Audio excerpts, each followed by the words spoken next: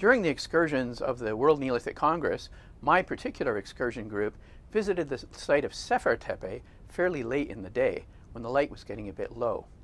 Sefer Tepe is east of Karahan Tepe uh, and is kind of a low mound or tell or tepe um, that turns out to have quite a, quite a nice exposure of uh, architecture at it. Uh, and it's a site that most people don't know as much about as Karahan Tepe or Göbekli Tepe, but it has many of the same features. Our route to Sefer Tepe retraced our steps down from Göbekli Tepe and then wound east by highway for some 80 kilometers, taking more than an hour. The site was discovered in 2003, and Bahattin Çelik published a report on it in 2006. Among the things that drew surveyors' attention to this site were the tops of T-shaped limestone pillars, and one lying on its side, right on the modern surface. A couple more were recovered during construction of a house at the south end of the site. When we disembarked from the buses, we walked up past the modern farmhouse, the old farmer watching us with some amusement. The excavation area occupies the southern end of a low tell amidst cotton fields, a little north of the modern farm buildings. The settlement is only about a thousand square meters in size, and its likely water source was a small tributary of the Khabur River about 500 meters east of the site. The site's remains, exposed so far, belong to the early pre-pottery Neolithic B period, contemporary with the later Neolithic occupation at Göbekli Tepe. However, from some of the more recent excavations, it appears that there are earlier PPNA remains below this layer, just as at Göbekli Tepe. Excavation here began in 2021 under the leadership of Professor Emre Guldogan of Istanbul University. Although some of the buildings exposed at the site appear to have oval or at least curved plans, most of the architecture is rectilinear, with some walls apparently being oriented north-south or east-west with fairly decent accuracy. Some walls exhibit buttresses, and the masonry is well laid, apparently using some kind of mortar, with large squared blocks at some of the corners.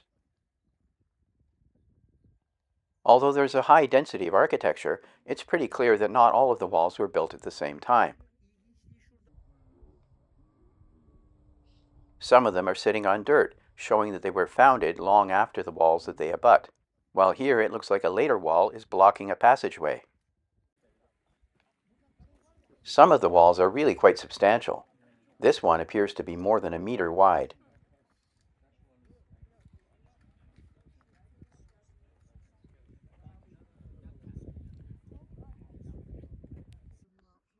Floors appear to be made from a variety of lime plaster, or perhaps lime mixed with clay.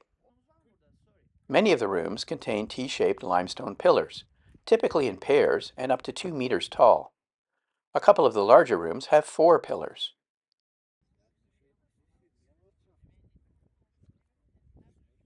Most of them are undecorated, but some are engraved or have shallow reliefs, recalling some of the features we know from Göbekli Tepe. The pillars were apparently quarried from the bedrock right at the site.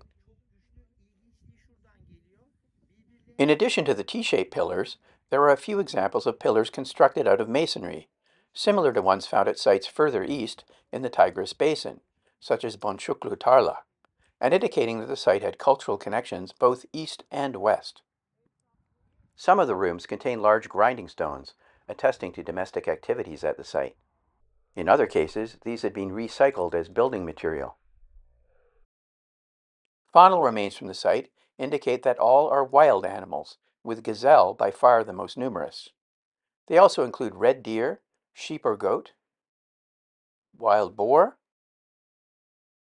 or oxen, equids that are most likely onagers, rabbits, various birds, and hedgehogs, rats, and some kind of cat. This focused on hunted animals, and especially gazelle, is not at all unusual for sites in the earlier PPNB in this region. Incidentally, the rats are probably not there as food. They, as today, they were probably just scavengers at the site.